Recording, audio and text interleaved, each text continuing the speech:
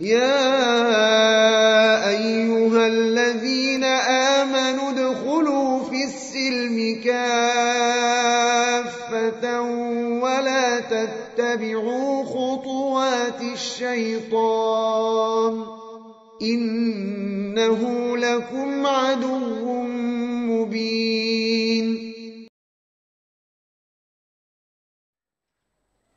Saya seorang istri baru menikah beberapa bulan. Saya tinggal dengan mertua saya. Berarti istri ke rumah suami ya. Baik. Alhamdulillah sejauh ini hubungan kami baik. Namun saya suka merasa cemburu. Wajar cemburu. Dengan harmonisasi keluarga suami saya. Saya rindu dengan orang tua saya, keluarga saya juga, rindu canda tawa. Apakah perasaan saya ini wajar Ustadz? Seberapa seringkah diperbolehkan istri mengunjungi keluarganya? Jangan tanyakan Ustadz, tanyakan suami Anda. Mas, kayaknya mas tanda cawanya enak kali dengan keluarganya. Mbok saya dibawa dong ke keluarga saya. Gitu loh. Berarti ada sebuah kasus, ada sebuah masalah, kecil memang awalnya, tapi jangan dibiarkan membesar. Hubungan suami istri, kalau ada kendala, segera bicarakan. Agar kemudian suami dengan keadilannya, dengan kedewasaannya, mencari waktu luang untuk Anda mendapatkan sesuatu yang bisa dia berikan kebaikan kepadamu. Jangan tanya Ustaz, tanya suami Anda sendiri dan cari waktu yang tepat untuk berbicara dengannya. Kalau dia adalah suami yang saleh, maka insya Allah dia mengerti apa yang anda inginkan. Dan kalau ternyata dia sangat sibuk juga, maka sifat seorang wanita yang salihah adalah bersabar.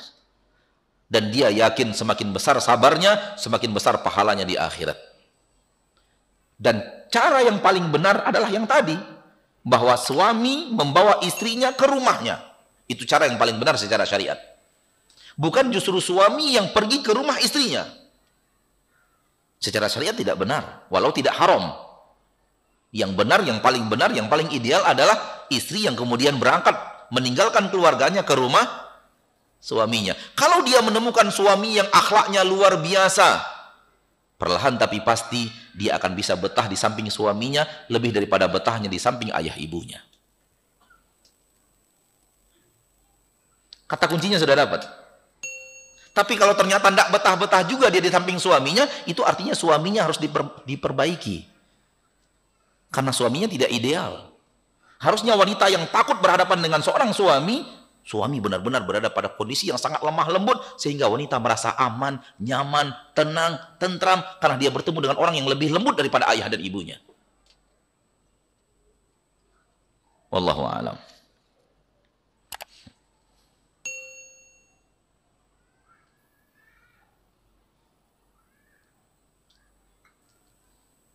Bagaimana cara menasihati istri yang masih ada keinginan untuk bekerja padahal penghasilan mungkin ya, penghasilan suami sudah lebih daripada cukup. Dunia tak ada kata cukup. Yang seberapa sih cukup dunia itu? Jadi tidak ada kata cukup dalam masalah dunia. Kalau memang tidak tidak qanaah hidup, maka tidak ada tak ada yang namanya cukup. Tak ada yang namanya cukup. Istri ingin bekerja, boleh. Istri ingin bekerja, boh? Boleh. Tapi dengan syarat-syarat yang para ulama kita sudah meletakkannya di dalam syarat-syarat istri bekerja meninggalkan rumah. Kalau terpenuhi syarat-syarat itu, izinkan. Kalau tidak terpenuhi syarat-syarat itu, jangan izinkan bekerja. Apa saja syarat-syaratnya? Lihat buku. Jangan disuapin terus. Cari ini tugas antum sekarang. Yang yang bertanya istrinya mau bekerja, apa syarat-syaratnya? Bekerja di luar rumah boleh bagi seorang istri? Apa syarat-syaratnya kata para ulama? Cari dalam buku. Gampang kok nyarinya sekarang, apalagi di internet gampang nyarinya. Coba cari, ada syarat-syarat. Syekh Saleh Al-Fauzan di dalam kitabnya berbicara tentang syarat-syarat baru istri diizinkan bekerja keluar rumah. Kalau tidak, biarkan dia bekerja di rumah. Biarkan mencari penghasilan dari rumah. Tapi kalau harus keluar rumah, ini syarat-syaratnya. Silahkan cari semangat menuntut ilmu dan selamat menuntut ilmu.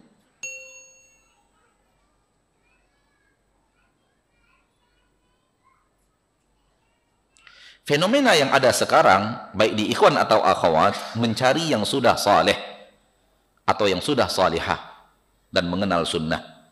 Bagaimana pula dengan yang belum atau sedang belajar sunnah? Tidak ada salahnya seorang lelaki mencari calon istri yang sudah kenal sunnah.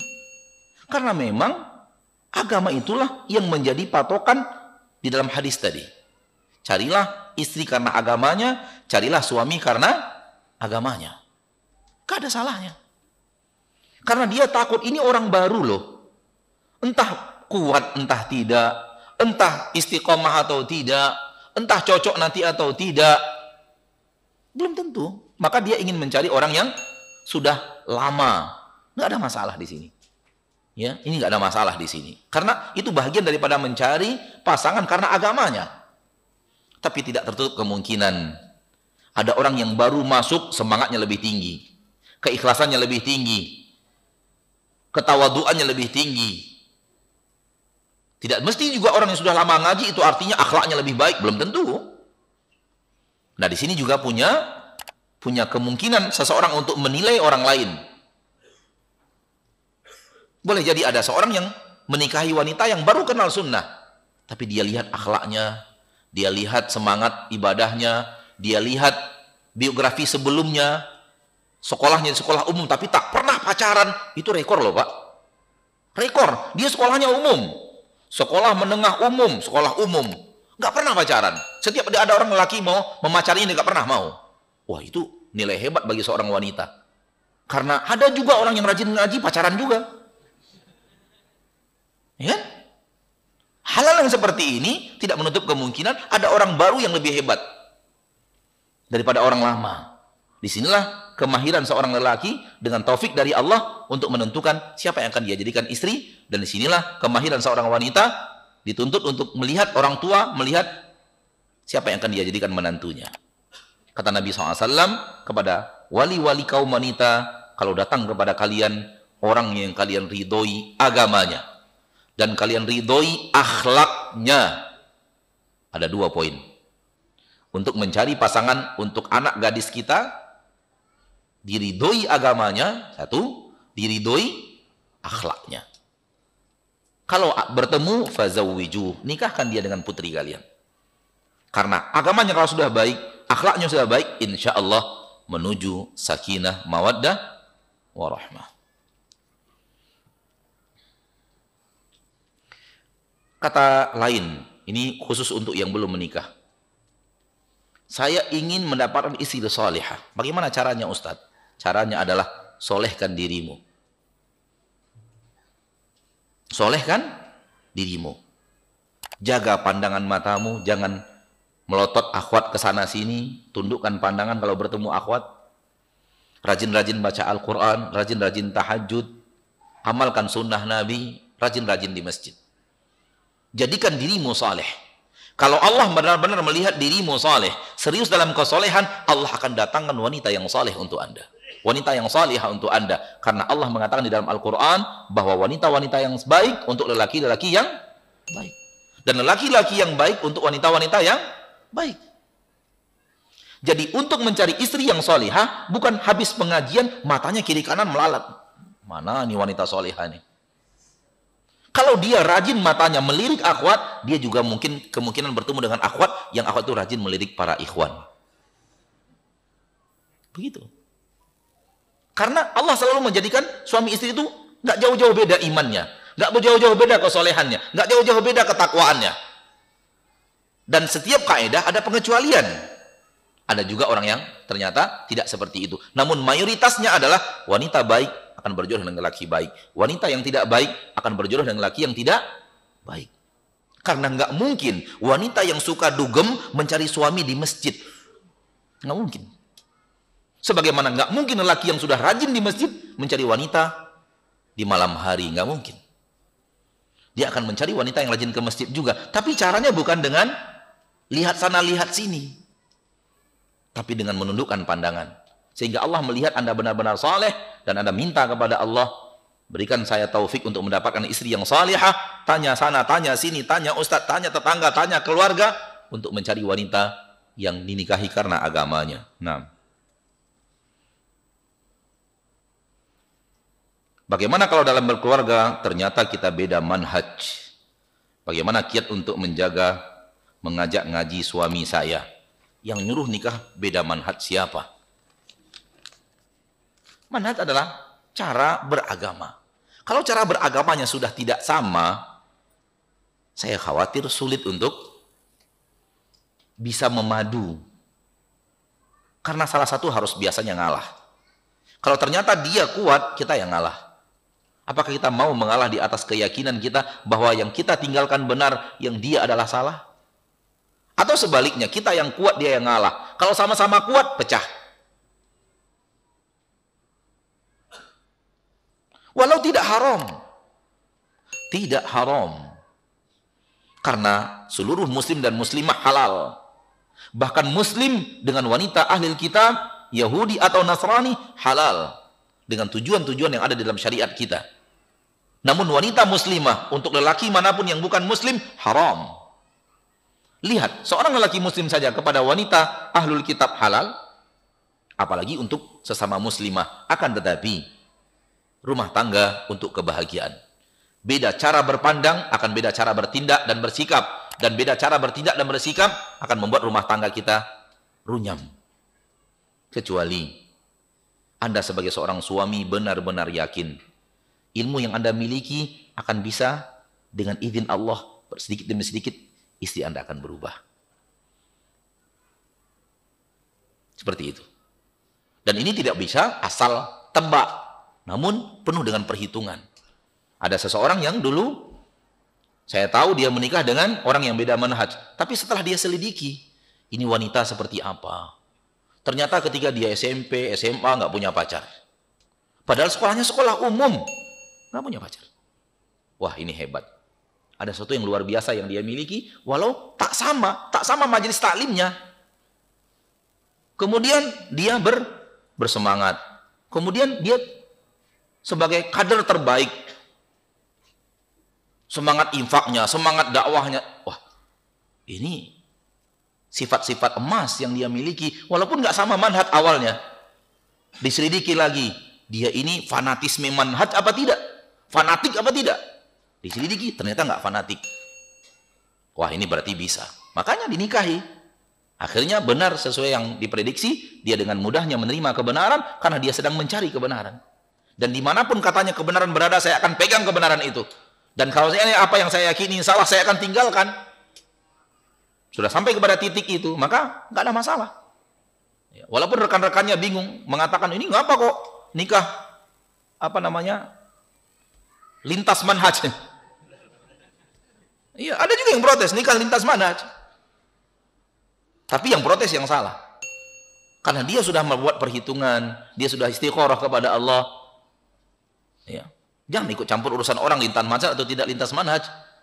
Siapa tahu ada kebaikan yang besar yang telah dia lakukan dan telah dia laksanakan. Nah,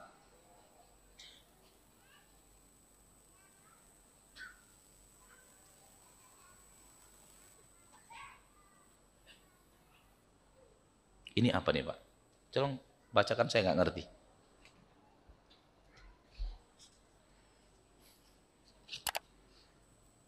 Apa itu?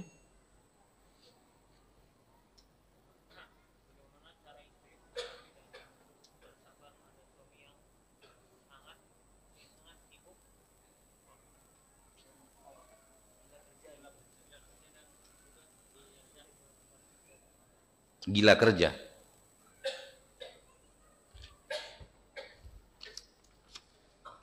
Bahasanya saya tidak mengerti. Baik, kita terjemahkan bagaimana cara istri menghadapi dan bersabar menghadapi suami yang sangat sibuk dan gila kerja dan sulit diajak ke tempat kajian bersama. Sabar itu apa? ridho dengan keadaan yang terjadi. Suami kita sekarang suka kerja, kerja, kerja, kerja. Sulit diajak untuk ngaji. Ambil cara lain. Yaitu ketika dia sedang bekerja kita temani. Dengan kita putarkan ilmu-ilmu. Kenapa tidak? Kenapa kita tidak istri yang datang kepadanya dan membawakan ilmu kepadanya di saat dia sedang bekerja? Mungkin pekerjaannya terlalu besar. Sehingga siang tidak cukup. Malam pun harus diambil sebahagian. Karena kewajibannya di kantor seperti itu. Sehingga waktunya untuk menuntut ilmu susah. Tambah macetnya Jakarta. Kenapa kita tidak yang sudah istrinya yang sudah duduk di majelis ilmu Senin, Selasa, Kamis, Jumat membawa ilmu itu kepadanya ketika dia sedang bekerja. Mas, lanjutkan pekerjaan ya. Saya putarkan ceramah Ustaz Firanda. Tuh, kan? Kenapa tidak? Ustaz, Mas lanjutkan ya. Ini ada ceramah inaktif. Saya dengar nih dari Ustaz Abu Zubair saat-saat kematian Rasulullah SAW suaminya, aduh, bagus ini, tinggalkan pekerjaan sebentar dengan. Boleh jadi. Dari sana pintu hidayah itu masuk. Boleh jadi gitu. Ada ada saudara kita yang sulit menasihati orang tuanya, kemudian dicarikan CD yang yang yang yang menyentuh hati, diputarkan di mobil di saat sedang keluar kota. Tiga jam orang tuanya diam di bangku karena mau ngapain lagi di mobil kalau nggak dengar suara yang ada. Ya kan? Diputarkan sama anaknya. Wasiat sang kekasih. Dan anaknya sengaja memutarkan itu, itu itu materi yang terbaik menurut anaknya ketika itu diputarkan wasiat sang kekasih. Dan anaknya pura-pura nggak tahu. Nyetir nyetir. Padahal matanya ke spion. Apa sih reaksi ayahnya? Nangis juga pak. Tersentuh karena kemampuan seorang ustadz, seorang dai menyampaikan agama tentu tak sama dengan kemampuan kita sebagai seorang istri. Kita pergi pengajian. Dari apa yang antum dapatkan ini, antum dapatnya misalnya hanya 50%. Berarti 50 persennya udah hilang. Begitu antum sampai di rumah, hilang 50 persen. Tinggal lagi 25 persen. Cara menyampaikan, hilang lagi 50 persen. Berapa persen yang sampai ke suami? Nah, namun kalau ustadz yang menyampaikan dalam rekaman-rekaman suara, mungkin maksimal dia menerimanya. Pandai sang ustadz, karena ustadz sudah melalang buana di dunia pedium, di dunia ceramah. Sehingga dia pandai mengutar, meng, me, me, me, me, menyusun kata untuk membuat orang tertarik kepada agama Allah, kepada sunnah Rasulullah Sallallahu Alaihi Wasallam. Dan ini yang harus kita manfaatkan momen-momen yang seperti ini. Ya. Dan bersyukurlah kepada Allah suami Anda gila kerja. Karena suami tetangga Anda gila wanita.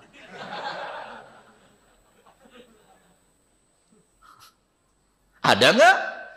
Ada loh. Maka lihat orang di bawah kita yang lebih menderita agar kita rasa syukurnya ada. Kalau suami Anda rajin bekerja, bersyukurlah. Kenapa? Karena banyak wanita-wanita lain suaminya gila wanita. Tak terbayangkan berapa menderitanya wanita itu. Yang menjadi istri dari suami yang gila wanita. Suami Anda baru gila kerja kok. Dan kerja itu suatu hal yang halal. Tinggal bagaimana Anda menyempurnakan kekurangannya dalam menimba ilmu dengan membawakan ilmu kepadanya. Supaya sempurna dia. Gila kerja, nimba ilmu. Gila kerja, nimba ilmu. Kadang wanita begitu, nggak puas-puasnya. Ada yang datang kepada saya, Ustadz, kenapa? Ingin curhat. Masalah apa? Masalah suami. Emang kenapa dengan suami ibu? Tiap sebentar gonta-ganti mobil, Ustadz. Asal datang mobil baru, keluaran baru, jual ini, beli mobil baru. Jual ini, beli mobil baru. Bingung saya ngadapi. Saya katakan bersyukur, Bu, daripada gonta-ganti istri. Langsung diam ibu itu. Bersyukur ibu, suaminya hanya gonta-ganti mobil. Daripada suami orang gonta-ganti istri. Nggak bisa ngomong ibu itu. Akhirnya nggak jadi nggak jadi curhat. Dan dia ingat sampai sekarang, udah belasan tahun nasihat itu saya berikan kepada saya ingat ketika ngobrol tentang suaminya gonta-ganti mobil dia ingat nasihat saya. Untung suami saya nggak gonta-ganti istri. Suaminya dokter, spesialis, Anak cuma dua, rumah sudah ada, mobil sudah ada, harta melimpah, mau dikemanakan? Ya, berganti dengan kemewahan mobil berikutnya, kemewahan mobil berikutnya. Tinggal saya katakan kalau muak, serahkan saya satu. Untuk dipakai dakwah maksudnya. Iya. Jadi jangan ngeluh terus. Suami Anda gonta-ganti mobil itu bersyukur. Nah, Ini bukan pertanyaan, ini surat. Kita nggak baca surat, kita baca pertanyaan.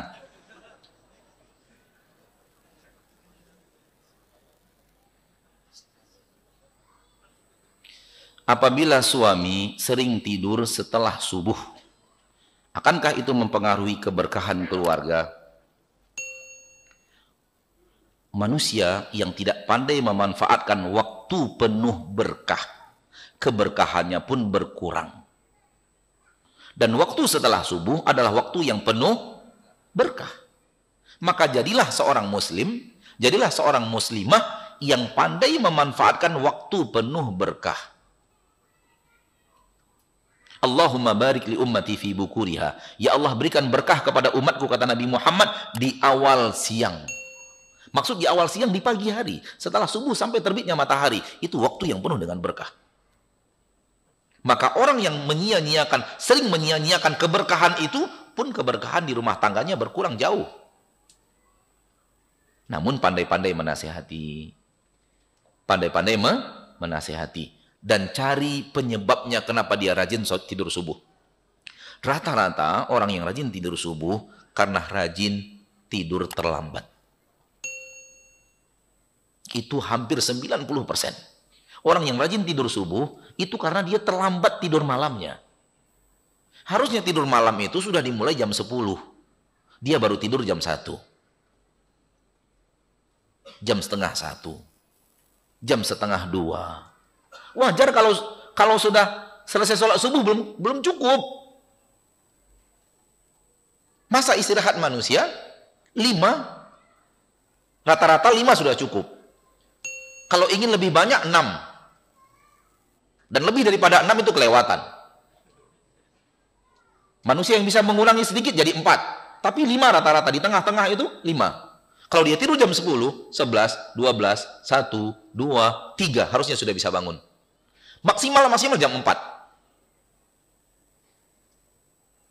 Masih ada kesempatan dia untuk sholat tahajud dua rakaat, empat rakaat diakhiri dengan satu witir. Sebelum berkumandangnya suara azan. Apalagi kami yang tinggal di daerah. Yang azan subuhnya bisa jam sekarang ini jam 4 lewat 50 menit. 4 lewat 47 menit.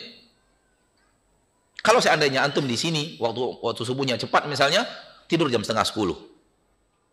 Setengah 11, setengah 12, setengah 1, setengah 2, setengah 3, maksimal maksimal setengah 4 6 jam.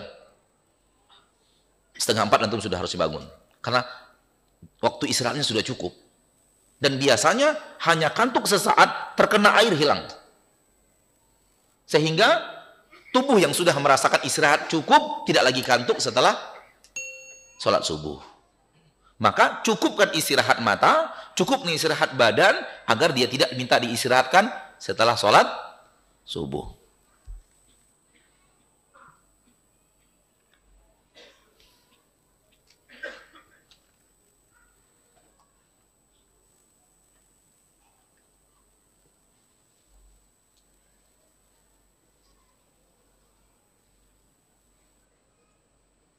Bagaimana menyikapi suami yang enggan mudik ke kampung istri? Sedangkan istri ingin kumpul-kumpul bersama keluarga. Jika ada liburan, selalu ke kampung halaman suami sendiri. Egois. Suami yang egois. Kata kuncinya sudah ada tadi. Jadikan akhlak terbaik Anda adalah kepada istri. Kalau dia memiliki akhlak terbaiknya kepada istri, dia tidak akan egois seperti ini. Setiap liburan ke kampung suami, setiap liburan ke kampung suami, setiap liburan ke kampung suami, egois. Istri juga membutuhkan saat-saat di mana harus bercengkrama dengan ayahnya, dengan ibunya, dengan sanak familinya, dengan teman-teman lamanya. Maka fa'ati kulladhi hakin haqqah. Berikan hak masing-masing kepada yang memiliki haknya. Maka suami seperti ini nggak boleh. Kecuali hari demi hari kita sudah di kampung istri. Kemudian setiap ada acara liburan kita ke kampung kita, bolehlah. Demikian juga sebaliknya. Hari demi hari suami di kampung istrinya, karena istrinya di kampungnya bersama ayah ibunya. Maka setiap liburan diboyong ke kampung dia, boleh. Tapi kalau kita tinggal di di, di, di daerah yang netral, tidak ke kampung istri, tidak ke kampung kita, dan kemudian setiap liburan ke kampung kita terus, itu nggak benar. Namun istri harus bersabar. Pertanyaan terakhir,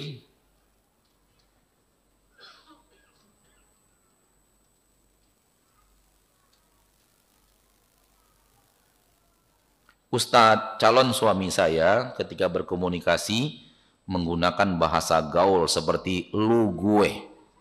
Dan banyak saya melihat keluarga yang sudah hijrah masih menggunakan bahasa seperti itu. Bahasa lu dan gue. Apa kita termasuk bahasa kebiasaan yang buruk?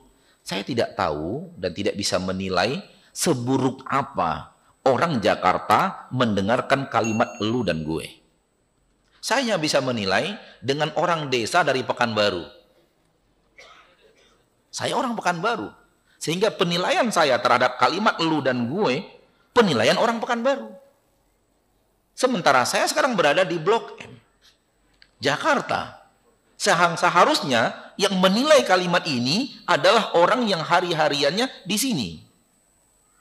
Maka silahkan tanyakan kepada Ustadz berasal Jakarta. Jangan tanyakan ke Ustadz berasal dari Pekan. Sampai di sini pertemuan kita. Semoga Allah Taala memberikan kepada kita petunjuk dan hidayah untuk bisa membangun rumah tangga kita di atas yang hak, di atas yang benar. Perbaiki pondasinya, perbaiki bangunannya, dan jadilah orang yang memiliki kata kunci untuk menjadi suami yang terbaik dan untuk menjadi istri yang terbaik. Istilah saya sebagai seorang suami, jadilah suami yang pemulang. Kalau nggak ada kerjaan, pulang. Kalau nggak ada kerjaan, pulang. Pulang ke rumah dekat istri. Kecuali ada kerjaan di rumah, ada ini, ada di luar rumah. Kerjakan. Tapi hatinya ingin pulang, hatinya ingin pulang. Begitulah Rasul kita SAW. Kata para sahabat, Rasul kalau tidak ada pekerjaan apa pun, pasti ke rumah. Nggak ada ke mana-mana Rasul. Karena Rasul lebih lebih senang di rumah dibanding di mana-mana. Kalau kita tidak lebih senang di rumah, berbahaya.